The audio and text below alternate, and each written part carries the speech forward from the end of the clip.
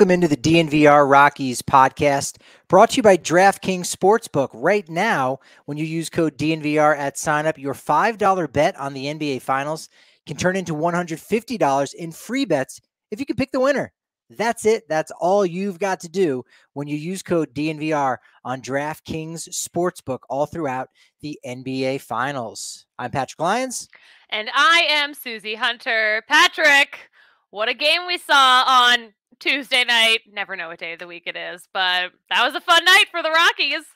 It was a fun night, and, and we're going to celebrate a little bit today. We've got uh, a handful of guests, two. Two is also be, can be considered a handful, one of which had a lot to do with what went down on Tuesday night, besides, of course, the win.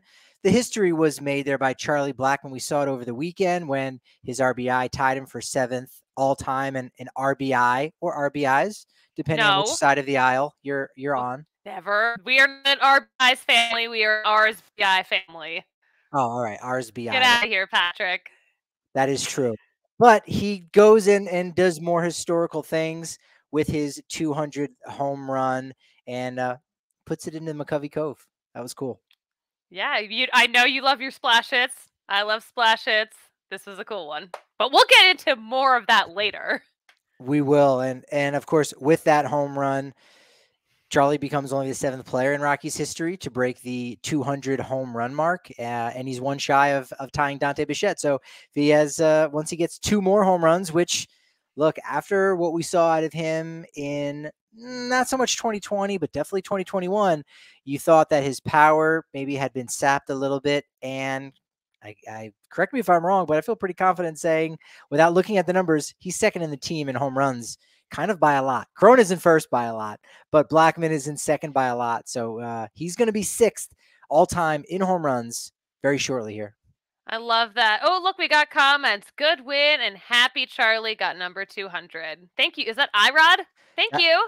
That it could be lowercase L Rod, but it's probably Irod. No hyphen. You know what? We're gonna we're gonna give you a pass on that as we know you got to get hype hyped for hyphen season.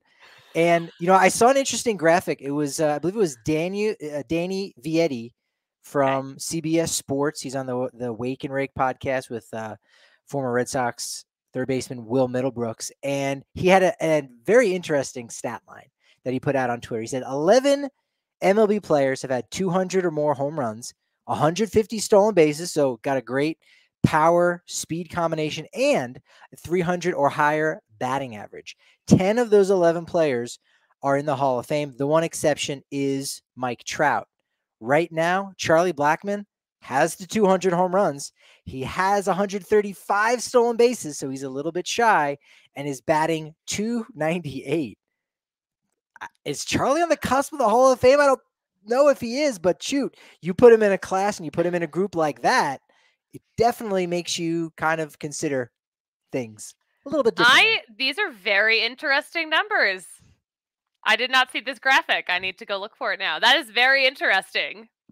Yeah, I I don't think I spoke to Charlie about this. Oh, oh yeah, no, no. I didn't talk to him about this directly, but last year when uh, Larry Walker had his number 33 retired and had a had a quick conversation with him and and pointed it out in right field. He hadn't noticed that it was up there yet. It was that weekend. They still had it wrapped up. It's like, oh, I didn't even notice that was up there yet.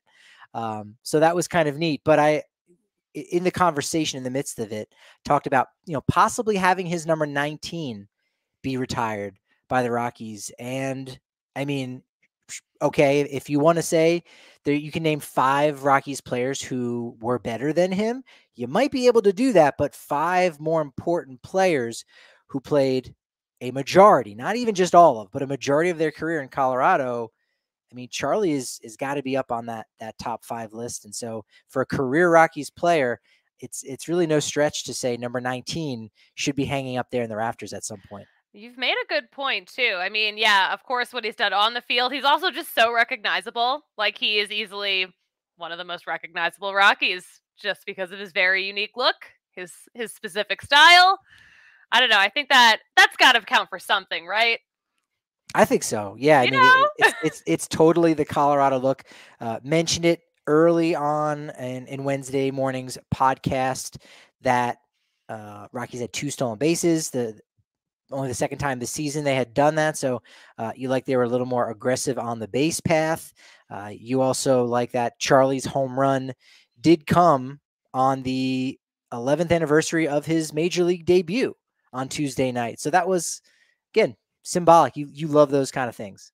You know what? And it's so funny too because he wasn't even in the lineup heading into that game, that 11th anniversary game. So the fact that he did get to come in and pinch hit and get that game winning home run and that historic splash hit, like the list goes on and on and on.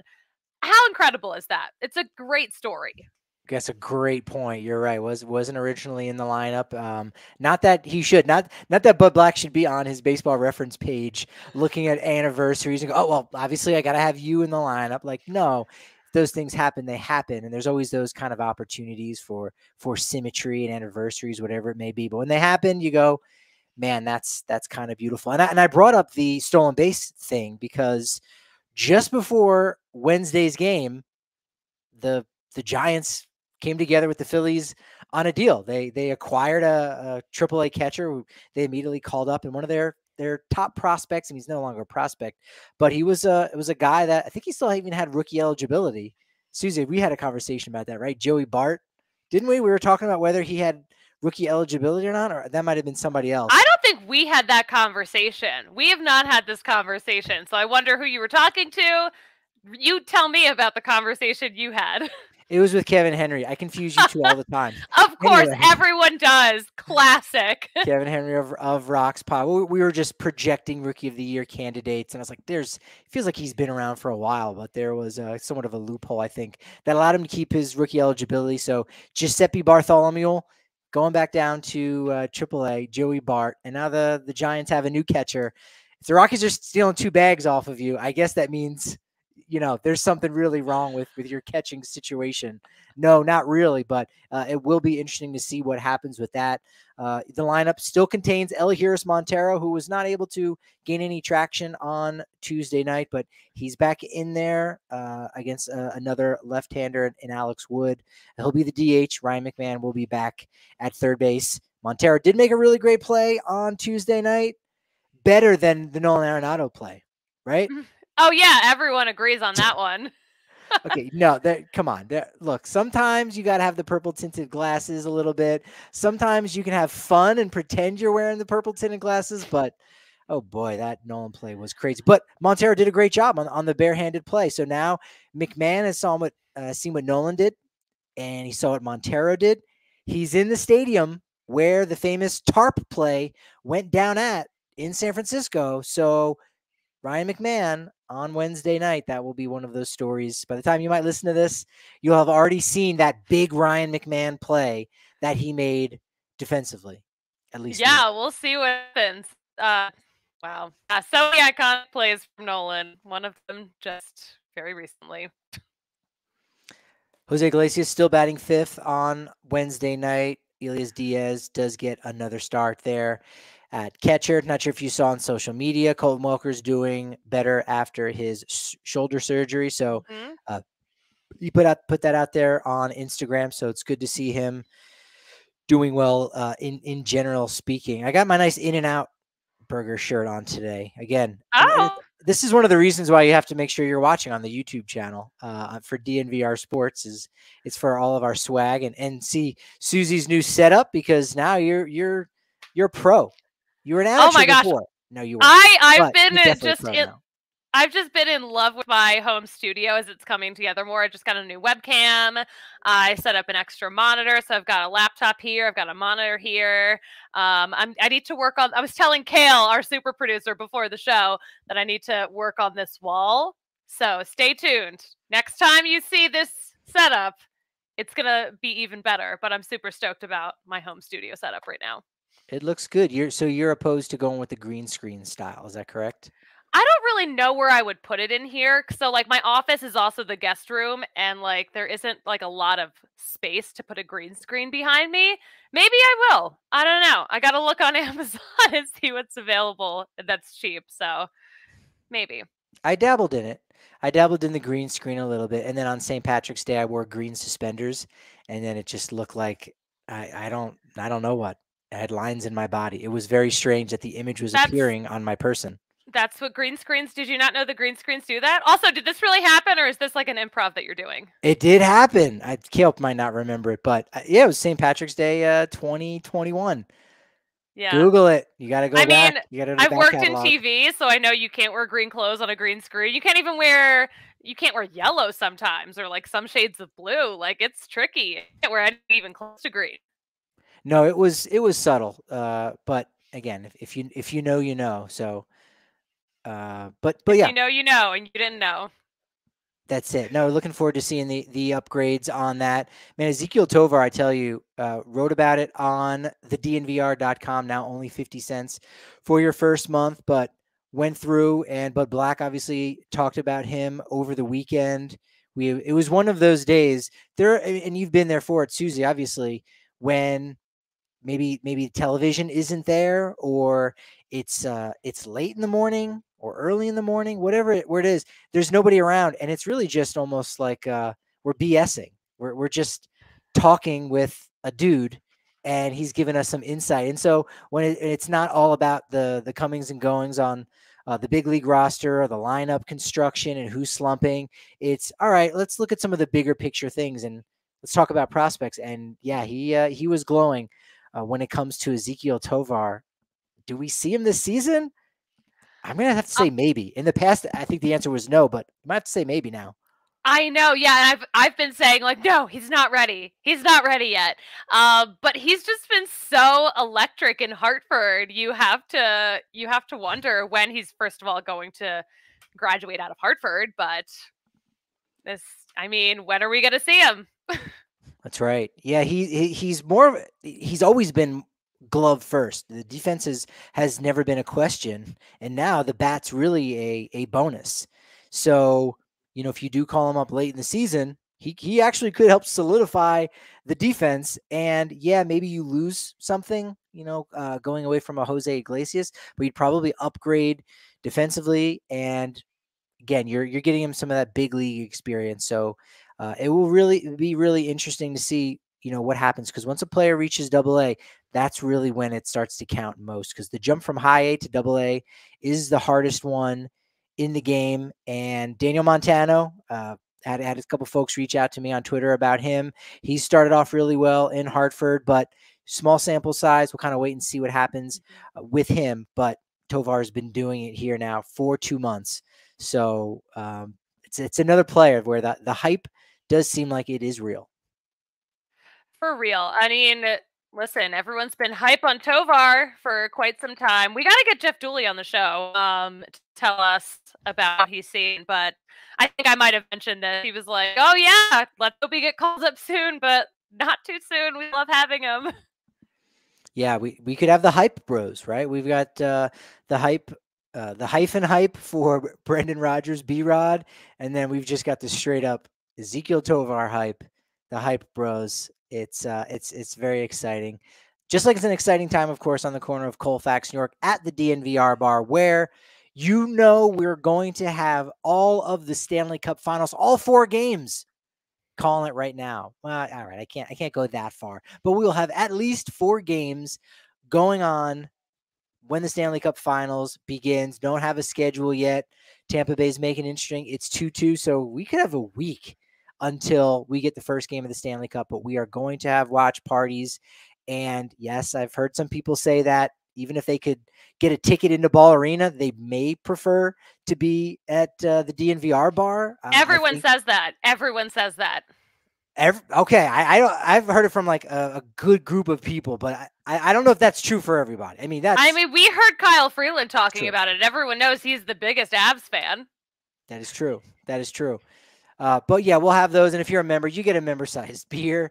Uh, you get extra raffle tickets at all of those watch parties to win some free gear, uh, discounts on any of the tailgates, party buses, you name it, all that and more. Members only Discord where we'll go and, and hit you up. Susie was doing it today in the Discord, letting folks know, hey, we got a couple special guests. If you got questions for them, also make sure you're watching today for those guests. So we're going to tip you off to a couple things that we might not tip others off, but we will do it for you because you're a member to the DNVR.com. Now only 50 cents for your first month. And look, if you can't make it out to the DNVR bar, we understand, but you can still watch the Avs with Evoca TV. Same is also true for the Nuggets. We're talking Altitude Sports, AT&T Sportsnet, and yes, the DNVR Sports channel on YouTube. You're going to get it all with this great package from Evoca TV. It's evoca.tv slash DNVR, zero hidden fees. It's $25 per month plus the cost of the receiver. In fact, if you use code DNVR on top of going to evoca.tv slash DNVR, you're also going to get even more of a discount, $10 off those first three months. So you're going to get Rockies. You're going to get DU Pioneers if you're into the college game, CSU Rams, Rapids, Mammoth, Rapids. Soccer season is legit. Get ready. World Cup's coming this winter. Yes, a Winter World Cup first and probably last time that happens. But Evoca TV is going to get you all set up for that. Go to evoca.tv slash DNVR. And going back to the Av stuff, we, we've talked about it numerous times. You got to go to breckbrew.com so you can nominate somebody that you know and love, someone who's a community star, so that Breckenridge Brewery can send them to a Stanley Cup Finals game. Seriously, they're giving away Stanley Cup Finals tickets. They've been doing it all playoffs long, and they want to celebrate with you. They give you some tickets, a pair of uh, playoff tickets, as I said, uh, gear, and the drink of the season, Avalanche Ale. But it's not for yes. you. Again, it's for someone you know and love that deserves it. Be a little bit selfless in that way. And then, yeah, if they win, you can hold it over their head for the rest of their life. So in the end, you might end up getting back more because of that.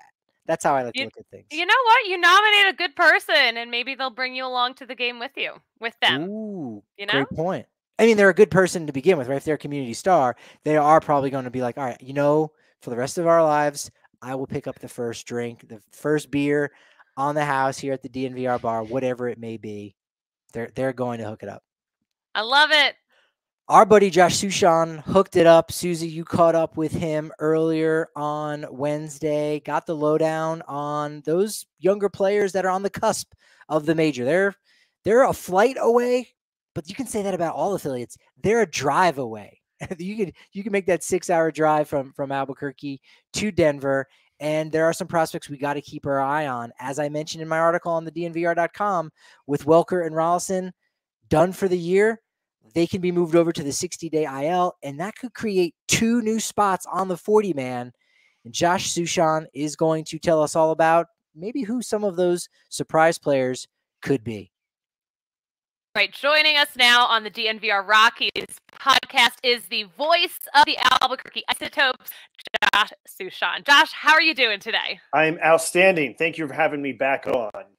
Yes. Um. So last time we had you on, um, you know, we talked about a lot of the changes happening down at AAA, but I want to talk about a new one that we haven't seen since the last time you were on the ABS, the Robo Umps. I know you've talked about it a lot, including on MLB Network, but what is that looking like down there, and how is that changing or not changing how the game is played out?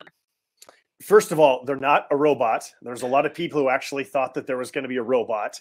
And so I had to break the news gently to people that R2D2 is not behind plate. And then I was scolded by people who let me know that R2D2 is a droid, not a robot.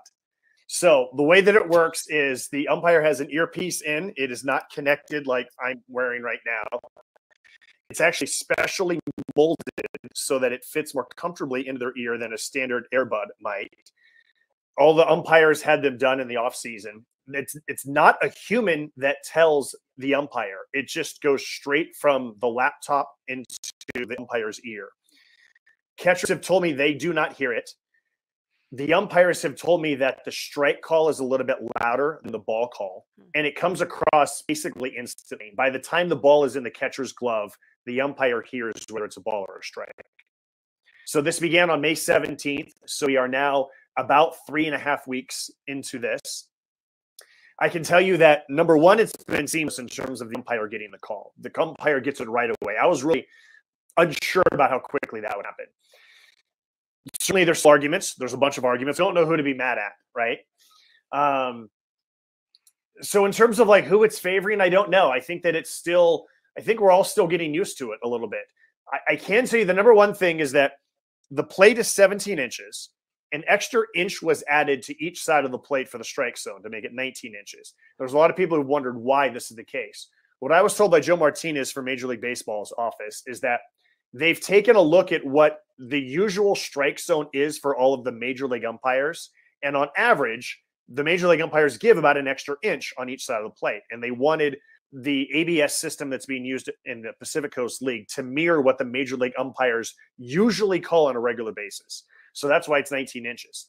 The other thing to keep in mind, though, Susie, is that a baseball is approximately three inches in diameter. And if any part of the baseball hits the strike zone, does not have to be 51%, does not have to be 10%. If even just one millimeter of that baseball hits the strike zone, then it's considered a strike.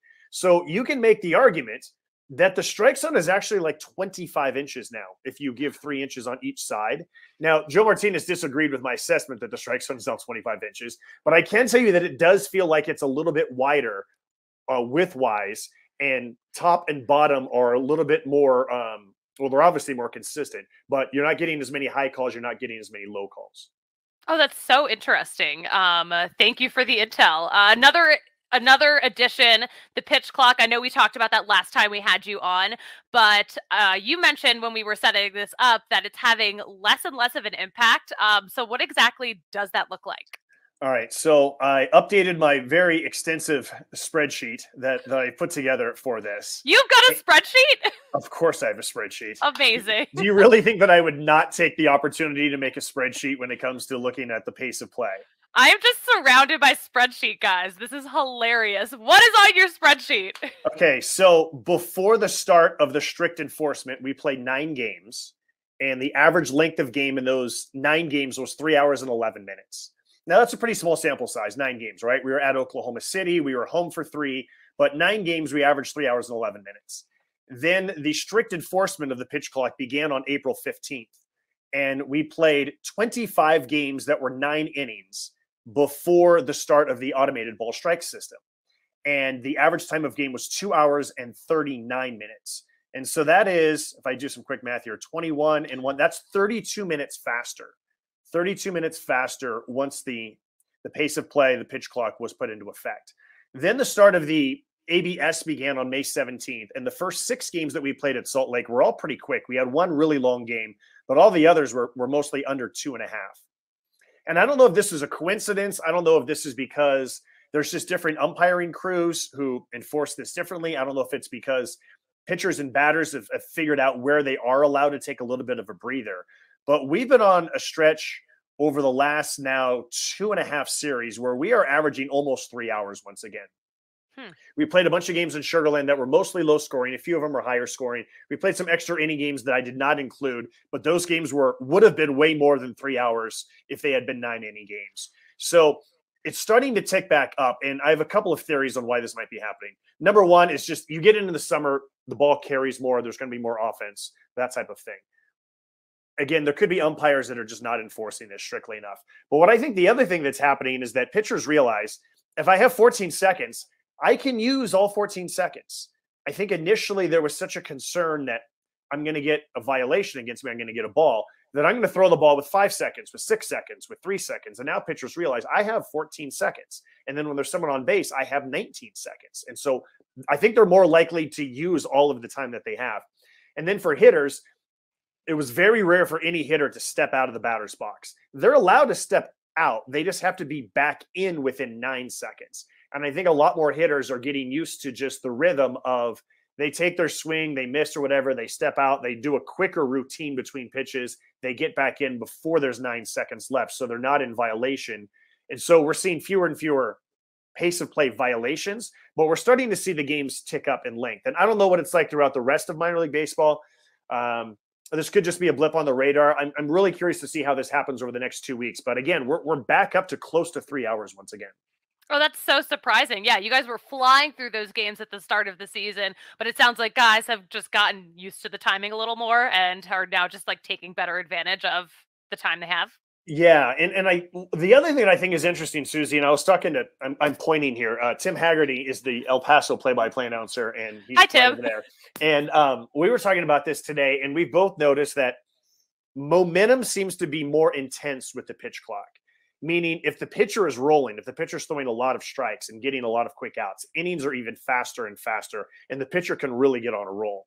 On the other hand, if the pitcher is struggling to throw strikes, if the pitcher thinks he's getting squeezed by the computer, if the pitcher just doesn't get the benefit of the doubt on a certain call. Used to be that they could step off, they could go to the rosin bag, they could rub up a baseball, they could throw over, they could really slow them th- themselves down. They can't do that anymore. And so I think that leads to you see more back to back walks, you see more pitchers struggling, and then the momentum really, really starts to speed up on them. I also think that really lengthy at bats that go eight, nine, ten pitches, that wears down a pitcher more. And even if the pitcher gets an out, in the past, maybe the catcher goes out for a visit, maybe the umpire gives them a new baseball. They're able to kind of catch their breath after this lengthy battle. Not anymore. The, the clock is running. And so I think that you see the war of attrition against a pitcher, if you have some really lengthy at bats, can really make an impact. Oh, that's interesting. All right. We need to do some updates on some of your some of the prospects that are down there in Albuquerque. Uh, let's start with Coco Montes. He's had four homers in three games recently, and also just in general one of my favorite names in the Rockies system. So, how is he looking overall? Well, let's start with the name Coco. Okay, so he has the same name as his father, Robert. When he came home from the hospital, he told me that his mom shaved his head, and his grandfather said that he looked like a, a bald coconut and there's a longer word in Spanish that I can't remember right now, but the shortened version of that word is coco. And so that's how he got the name Coco because he looked like a bald coconut when he came home. And so the family always called him that. In school, he would write his name on, on papers that said Robert, but with all of his baseball, high school, college was always Coco. Uh, second, he does not wear batting gloves. He has not worn batting gloves since he was about 12 years old. So that's a uniqueness about him. And then third, I mean, he's just he's just a guy you can put everywhere. Second, short, third. He's not known for his power, but he's hitting for power right now. He he's known for doubles, really. And sometimes the older you get, those doubles start to turn into home runs, especially when you start playing to 50, 200 feet altitude. That tends to happen. Although I must say, we were at sea level last weekend and he hit two home runs at Sugarland. He pulled one and he hit the other to right center, which is really hard to do at sea level in Sugarland and he's just a just a just a scrappy ball player who's always going to give you really good at bat. He's a good dude. Teammates like him. Uh, he's basically he took the place of Colton Welker, and he's not going to hit for the power overall that Welker will hit for. But there's a lot of things he does that can help you win a game. Oh, very cool. All right, now what's the latest on Dom Nunez? How is he doing now that he's getting more regular at bats in Albuquerque? Yeah, I think the key there is regular at bats. It was I think I added it up where in his first 10 days back at AAA, he got as many at bats as he got in the first six weeks of the season in the major leagues. And to be candid, he struggled when he first came back here. And that happens a lot. I've seen a lot of guys, they come back and they want to try so hard to prove that they're that they can get back to the major leagues and put up numbers that they end up being really aggressive and swinging out a lot of pitches out of the strike zone. And it just takes a while to just get your timing back, a feel for the strike zone. And Dom's really turned it up. He homered yesterday. He was on base four times yesterday. He had a couple of extra base hits when we were at Sugarland. He's always been really good defensively, and I think we're starting to get back to the Dom Nunez that I saw with the Isotopes in 2019 and what Rockies fans saw in 20 uh, 2020 and 2021. You know, I think the Dom, there's a lot of things that Dom can do to help a team. And and I and I think that you could just kind of see it with every game that he's starting to get his timing back more and more because it's just hard when you don't play much. And now he's playing almost every day. He's basically starting four out of every six and usually hitting second. And when, when he goes really well, he can help a team win a lot of a lot of games too. All right, great to hear. All right, let's hear about Riley Smith and Jose Urena, a couple of newer faces with the Rockies organization. How are they looking in the rotation? Short answer is really, really good. So, two guys that were not at spring training with the Rockies. Riley Smith was competing for a job with the Diamondbacks and pretty surprisingly got released at the end of spring training. Jose Urena was with uh, the Brewers, he was in the bullpen. And then when rosters shrank from 28 to 26 in early May, he was designated for assignment and ended up getting released. Rockies have picked them both up, and I love it. These guys are both really good. Riley Smith throws a lot of sinkers, and he gets it up to about 93, 94 with his sinker. He's got some secondary pitches that are really good. He works really fast. He works really efficiently. You definitely do not need the clock when he's on the mound because he's just going to get it and pitch and go. Um, another guy liked by his teammates. He's just he, he's just going to attack you. He's just going to come at you with this stuff, and he's going to give up some home runs, but he's going to throw a bunch of strikes. And you know, look, home runs are part of modern baseball. Um, his last two starts have been really good. Six innings both times, three runs, two runs.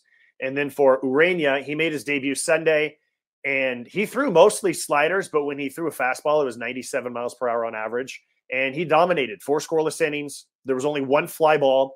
Everything else was a ground ball out or a ground ball hit or a strikeout. He didn't walk anybody. So for a guy who had not pitched in a competitive game in two months, I thought it was really impressive what his command was like.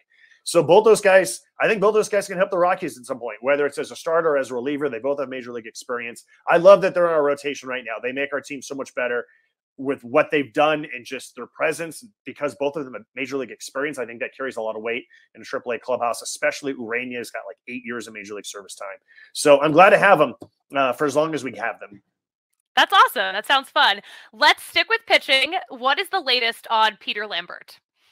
I don't know all the details. I just know that he was supposed to start yesterday and he did not, and that's because his elbow is once again giving him problems. I don't know the severity of that, and it's probably not for me to say anyways. But he was placed on our injured mm-hmm. list, and you know, it's no secret he had Tommy John surgery in 2020. Spent basically all of last year rehabbing all throughout the Rockies organization. From what I read, he had a little bit of a setback in spring training, so that slowed him. He had been building up from one inning to two innings to three innings to four innings and whatever within the last start which was at sugarland and then the days after that he was feeling some something in his elbow. Again i don't know the severity but i'm really disappointed because pete's such a good pitcher when he's on and i know how hard he's worked to try to come back and i think it just goes to show that tommy john surgery has a really high success rate but it's not it doesn't it's not it's not 100% you know it happens and some guys come back in 10 to 12 months and some guys come back in 16 months and some guys take two years to come back and I hope that this is minor. But anytime that you have to stop and start as many times as Pete has done, especially this year, then it then it becomes you know more and more concerning. Yeah, definitely something to keep an eye on. Um, one more thing, one more guy that we want to keep an eye on, Sean Bouchard. What is going on with him? How's he doing down there? Yeah, Sean Bouchard's a guy who has not received a whole lot of publicity from a prospect standpoint. But this is an interesting guy. This guy, okay, he can play left field, he can play right field, he can play first base. Last year was at double A, made a triple A debut this year. He missed some time because he hurt his shoulder making a diving catch. So he missed about three weeks, but he's been back and he's hitting in the middle of our lineup on a regular basis. Um, I'm going to cheat and look at my roster that is to the left of me so that I can list that he is listed at 6'3, 215. He can run. He stole another base yesterday. He's got six stolen bases now. He can hit for power. He can hit for average. He, you know, it's a it's a polished guy. Went to UCLA, played a high level of college baseball. And Bouchard's one of those guys who just sneaks up on you. Maybe like you come to one game and he doesn't stand out. And then the more you watch him over time, over weeks, over months, you realize this guy can help the team in a lot of ways. And he's basically, I can say this because of all the injuries that we've had between Welker and Trejo is out now, and Tim Lopes is out, and geez, I'm losing track of all the other players that we've had out due to injuries. Taylor Snyder, Carlos Perez has recently come back. Bret Boswell has recently come back. He's gotten an opportunity to not just play some, but play a lot in bat second and bat third, and he's thriving right now. So I'm, I'm really excited to see what he can do when he continues to get this many at bats. Thriving is a word I love to hear. All right, thank you, Josh. Tell our listeners slash viewers where we can follow all of stuff. Well, you can always go to MILB.com and then there's a bunch of links from there. You can go to abqisotopes.com and that's where you can listen to the broadcasts. If you want to pay the service to watch all of the games, you can go to MILB.tv. You can follow me on Twitter, Josh underscore Suchon, common spelling on Suchon. And so there's a lot of different ways to keep in touch with everything. All right. We'll have a good game tonight. Thank you so much for joining us. Amazing insight there from yeah. Josh, particularly considering all the injuries that the Isotopes have had, and yet there are players stepping up, stepping in, and and doing a good job, being being a veteran presence. Like you know, Bouchard's not that young. Uh, I can remember back in 2018 being in Low A Asheville and being kind of you know enticed by his power. Chad Spanberger and uh, Casey Golden, three names of guys who haven't made it to the majors yet, but hey, I had my eye on them way back when Bouchard was probably third on that list, and yet he stuck around. He stayed healthy. He's got all those tools. So it's good to see uh, veteran guys like that, as well as Riley Smith and Jose Urena, doing a good job and and keeping everyone's head on the level down there in the Isotopes locker room. Yeah, for sure. I was really, uh, yeah, I was very interested to hear all about what's going on down there. I'm surprised to hear that the pitch clock that was speeding up games so much is no longer having that effect. And it's probably a lot of variables, but I am a little sad to see that those games that they were flying through down in Albuquerque not really happening anymore. Well, I feel like it's similar to, to the games that the Rockies have played, where I feel like the first month of the season they were flying by so quickly. It was wonderful, uh, but now all of a sudden they're going a lot longer. Whether they're scoring a lot of runs or not, um, they're they've gone back up to like three and a half hours. So uh, that was really interesting, and, and, to know that the the strike zone size is actually a little bit larger than the 17 inch plate uh, in order to mirror what MLB umpires typically do, uh, and and the fact that pitchers don't really have that opportunity to catch their breath like they would previously. So they might be getting taxed a little bit early. They might be uh, having to ru- not rush pitches, but you lose your command a little bit uh, if you're fatigued in that way. And so uh, all of that could be tied into those longer games. So that was very interesting to learn about the robo slash droid umpires uh, that are being used right now in AAA. They are not droids, as we've also learned. There are no robots walking around our minor league ballparks. Unfortunately, no. But fortunately, uh, Coco Montes's power is developing. Love to see that. 37 doubles last year in Hartford, had the most in the Eastern League. And now some of those doubles are becoming home runs. He can play second, third, and shortstop. So that's uh, exciting to hear that about Robert Patrick Montes. Oh, yes. I also loved hearing the um origin of his nickname. I didn't know that story before actually. We I, didn't I really didn't intersect in Hartford, so Yeah, no, no, did, didn't didn't know that one. Different story than Coco Crisp. I think. Mm-hmm.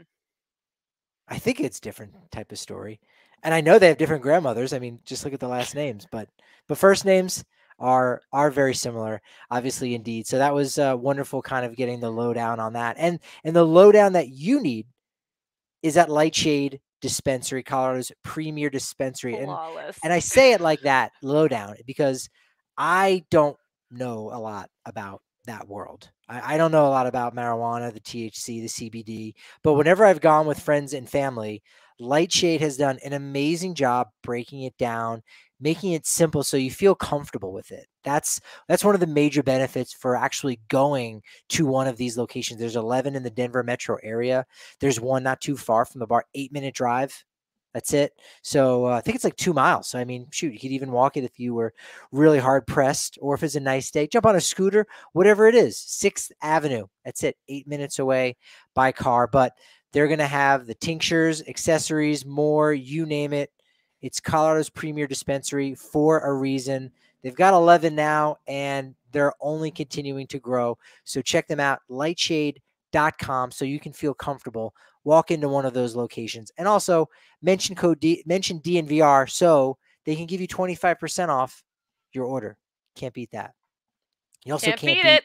No, you can't. And another, and speaking of greens, and th- speaking of feeling better, Ooh. I got to talk about a product I love it's how we I start more. my day. Yeah, I, it's it's how I start my day. It's one scoop of athletic greens. Put it in a little bottle and about 12 ounces of water usually. Nice and keep it cold. It tastes a little bit better that way. Uh, tastes tastes great even when it's not. But with one scoop, I get 75 high quality vitamins, whole food sourced superfoods, probiotics, minerals, adaptogens. It gets me starting my day right before I have that first cup of coffee, it starts to give me that clarity already. It's it's a great little micro habit that has huge benefits for me. And when I'm on the go, I take their travel packets with me and I can still continue to do the good things I need to do to keep my body on point. And Athletic Greens is helping you keep your act together and on point by giving you a free one year supply of immune supporting vitamin D and five free travel packs with your first purchase. All you got to do is visit athleticgreens.com slash ROC. It's the first three letters of Rockies. And if you don't use that slash ROC, they're not going to hook you up with all those freebies. So athleticgreens.com slash ROC, the first three letters of Rockies. It's going to allow you to take ownership over your health and pick up the ultimate daily nutritional insurance. I love it. A big fan of Athletic Greens. Oh, I love it. I mean, all the players down in spring training had that. I don't. I don't think they have any kind of deal. It could be coincidental. I, I don't know, but it there there there is no coincidence that the top athletes are are taking this to start their day. Um, I'm not a top athlete, but I do start my day with it. Now, it's a great insurance for my health. We should have asked our next next guest if he has insurance on his vehicle, on his watercraft, because he's uh, he's an interesting cat and uh, has some some really interesting stories. Susie, did you enjoy talking with our friend? He's now our friend, McCovey yeah. Cove Dave. Did you enjoy it as much as I did? I loved talking to him. He's such an interesting guy. Um, I'm so stoked. I feel like this was such a good show today too. Uh, I loved our conversation. He was just even more entertaining than I could have imagined. Yeah, he's absolutely great. Look, you're saying, wait, we got like a Giants guy on, and he's not a player, he's a fan. Look, if you don't know McCovey Dave, trust it. And if you do know McCovey Dave, you're already like, I don't, I don't care. You don't have to talk anything about Rockies. But we actually talk plenty about the Colorado Rockies, plenty about the Cove itself and what life is like out there on a body of water that can get a little bit wild at times. So here is the interview with Susie and myself and McCovey Cove Dave. We've got a super special guest on tap here. His name is Dave Edlund, but you probably know him a lot better as McCovey Cove Dave. And look, we were, would have loved to have had Charlie Blackmon on today to talk about his big home run on Tuesday night, but I think he's got a game to get ready for. I think you do too. So we got the next best thing, and Charlie Blackmon. We got the guy who got his ball. McCovey Cove Dave, how you doing? I'm doing really awesome. It was a great night last night, particularly for Rocky fans, but it was exciting for me to chase down Charlie's milestone ball. Now, I know you mentioned to me before this interview this was no accident, this was no coincidence. You knew this milestone was coming and you planned yes. accordingly. Yeah, so sometimes I plan out a year in advance. I caught the 1000th Giants home run at the park and this was years back and when they got to 950 to end one year, I said I really want to get a number thousand. And uh, at AT&T Park or Oracle Park now, as it's called, I have about a one in 20 chance of getting that home run if I'm there that night because about 9% of the home runs that hit reached water, either bounce in or fly in. And I have a 70% chance of getting the ball between my competitors. So I have about a 6% chance or one in 20. So I had a one in twenty chance of getting Charlie's ball if he hit it last night. I love, I love, I love that your you... use of numbers. Yeah. He ran the numbers. He knows exactly the odds. So I'm glad that you made the best of those odds and got that ball. Uh, it was very exciting. Well, and Charlie has not hit a home run into the Cove in his 11 year career. He's way overdue. And uh, when I saw him get that uh, home run number 199 the other night in the ninth inning, I knew he was right there. The other uh, milestone he's at is he's just under 1,500 career hits. He has 1,498 hits. That was the one last night. So there's a chance that 1,500 comes out to the Cove in the next two days. Yeah, I believe we've got four Rockies splash hits. Corey Dickerson had been the previous uh, one before Charlie, and then two by Carlos Gonzalez. Do you have a? Eh, you probably should give our listeners an idea of, of how many splash hits uh, you you have in your yes. collection, and if you have one from every National League team by this point. I'm almost there. I'm almost there. Rockies was one of the ones I was missing, surprisingly.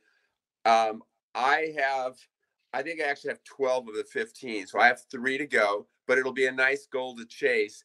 Um, the um, you know, I'm interested in, in milestone uh, home runs. Say on the Giants, for instance, I'd probably do paddle harder for a Giants home run. Um, the home team. And so far, since I started doing this in 2005, I have 40% of all the Giants splash hits, um, whether I'm at home or not. So half the time I'm at home because the probability of a home run that night are low. So I stay home. But so far, I've gotten 40% of the home runs and uh, I go to about half of the games. That's impressive. One of the I, things that I wanted to do the most when I came to San Francisco, but it didn't pan out, I wanted to get a kayak and come out to the cove. How often do new people kind of enter into the mix? And yes. how's that? How does it work? Do you guys chat? Do you exchange tips? yes, definitely, definitely. So basically on Saturday and Sunday this weekend, because more people can get off, we'll probably have 50 kayaks each day, 50 kayaks or small boats. And I we welcome into the cove. A lot of them are not serious about uh, chasing home runs. They're really there to enjoy. Like we're gonna have fantastic weather this weekend. They might have a bigger boat with some food, and um, so we'll we'll have 50 plus people in the cove, and uh, it'll be very exciting. And the best time to probably go and and do that is actually during batting practice because you know as you point out, you know there hasn't been you know a ton of those splash hits. I think we might be up to 90 yeah. well not maybe 94, 94, for the Giants. Yeah, and then there's only like 50 or so from uh, visiting teams. So it's not that many, but during batting practice, you can probably get a lot more, right? Yes. Although, you know, what's happened is last year the ball was livelier uh, we had a record number of home runs reached McCovey Cove last year because MLB was using a livelier ball.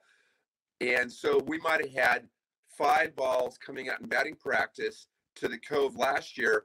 Now it's down to one. It's just because the ball's not traveling as, as well. And honestly, I don't think it's going to change. The home run numbers are definitely down this year. And uh, I don't think they're going to change the ball. It's a ball that just doesn't fly as, as far. Is it a ball? Yep. No, go ahead. But the Cove is a fun place to be. Um, just seeing a ball come over there is very exciting, very very exciting. And uh, there's a lot of partying that goes on there, and uh, it's just a great place. You need to bring a radio. Um, if you don't have a kayak, you can rent one at Pier 40, which is right next to the park. Go to citykayak.com and you can rent your kayak in advance. So if you come out for a Saturday game, you can have it rented a month before.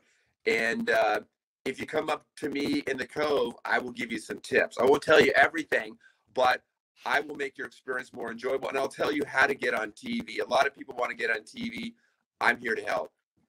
All right. Yeah. Mm-hmm. Actually, speaking of TV, we saw a lot of you on TV on the Giants broadcast last night, but we saw you like for a while talking to two guys out on yes.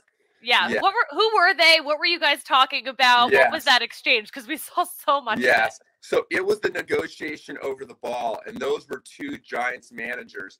Now, I actually I wanted Charlie to have the ball. I knew he wanted it. So honestly, I was going to give it for almost nothing, but uh, they were not very generous. So, for instance, on a milestone ball, you should be able to meet with a player for like five minutes and give them the ball.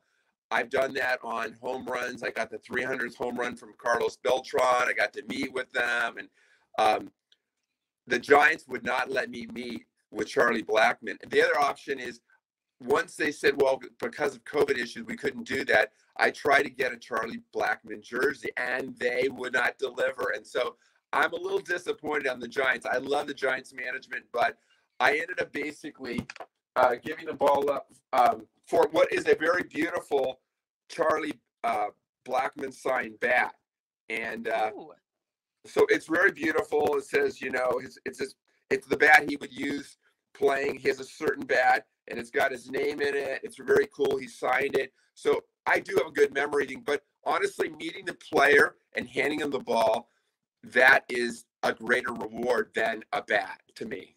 I imagine it's easier to make that kind of exchange when it's a Giants player, when yeah. it's a true splash hit, than it's the the visiting team. Yes. But you know what? For what it's worth, you would have been been stuck out on McCovey Cove for about another hour after the game if you were going to yes. meet Charlie Blackmon because he's got a very uh, long and arduous workout routine. Yes. But but that would have been nice uh, for them to kind of you know work that yes. out somehow. Well, it's been good over time. I've had the benefit of meeting a lot of great baseball players you know, I caught a, spl- a splash hit from David Ortiz, Big Papi of Boston, and I got to meet him several times. I got to do selfies with him, and that makes it really fun as a fan to kind of get to know the player in a.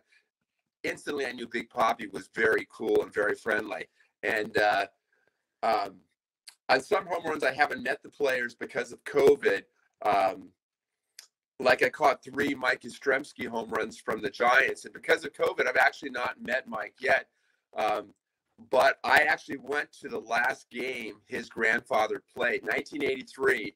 I was at Fenway, and uh, that was his grandfather's last game. So, oh my gosh, what a connection! That's amazing. Yes.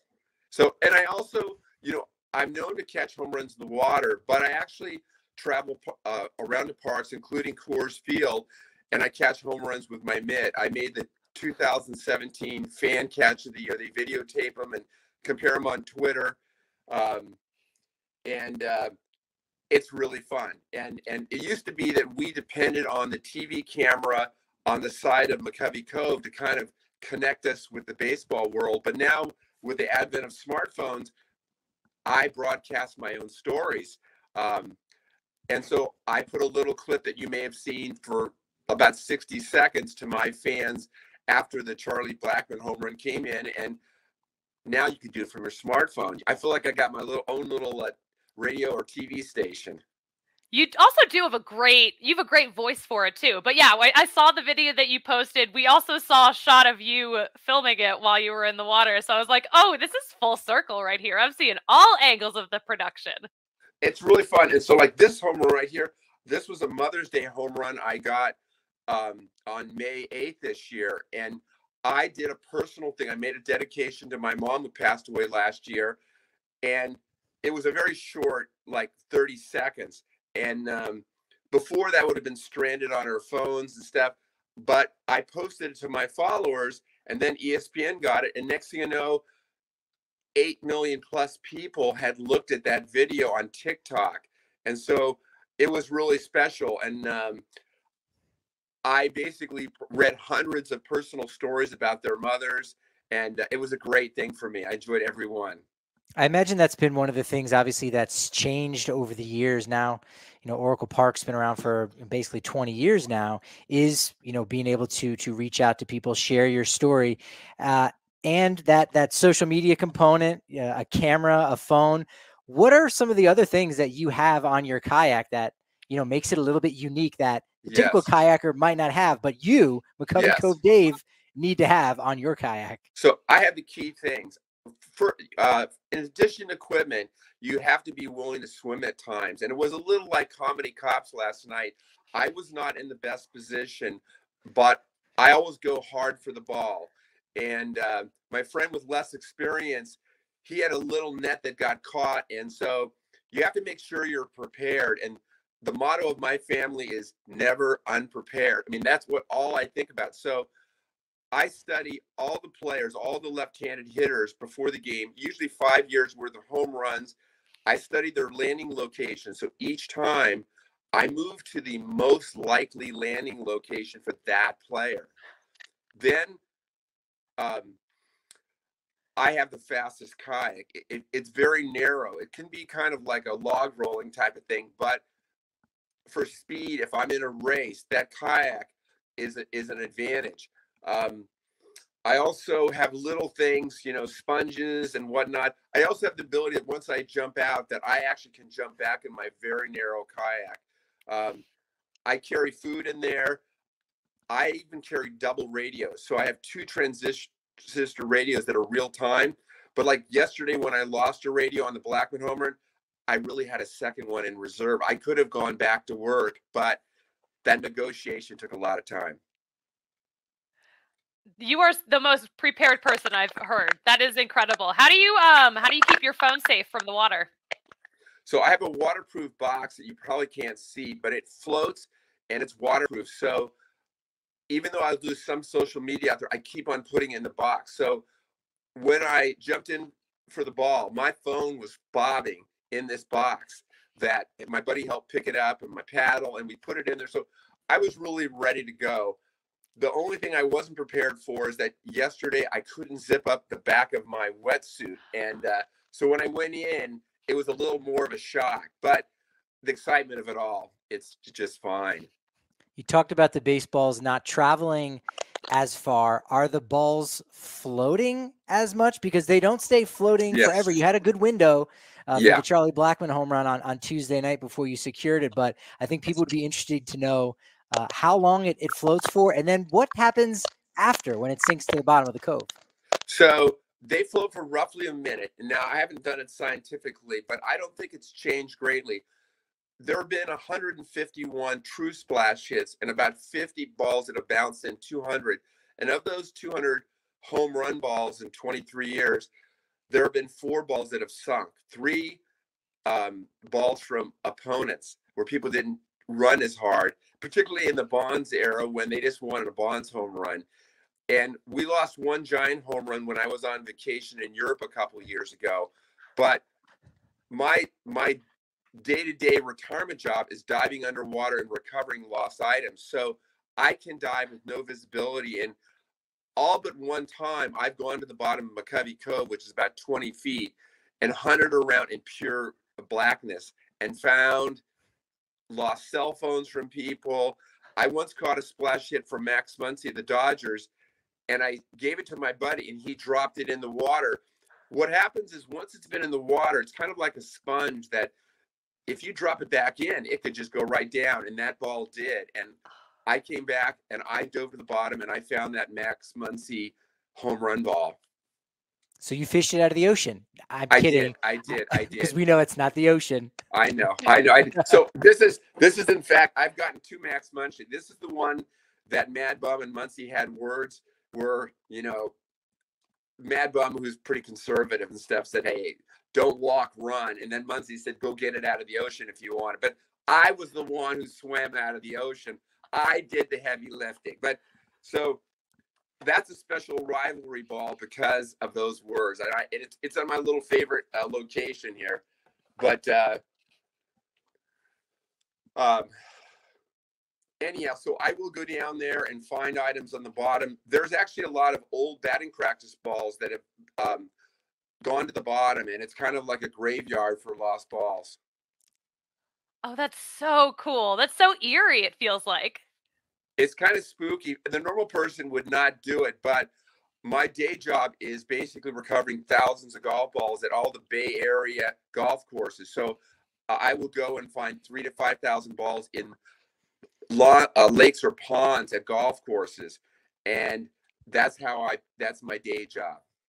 People might be surprised to know that you know you never had to fish out a Barry Bonds home run ball from the cove, but at your day job you were able to do something much like that, right? Yes, right behind me here, I have a Barry Bonds.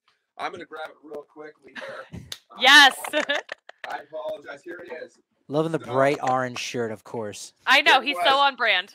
I don't know if you guys can see this. It might be hard because of the light, but Ooh, it yeah. says Barry Bonds. What happened is it was a celebrity golf tournament and everybody got sleeves of balls. I wasn't there that day, but my buddy said, Oh, yes, Barry hit one into eight.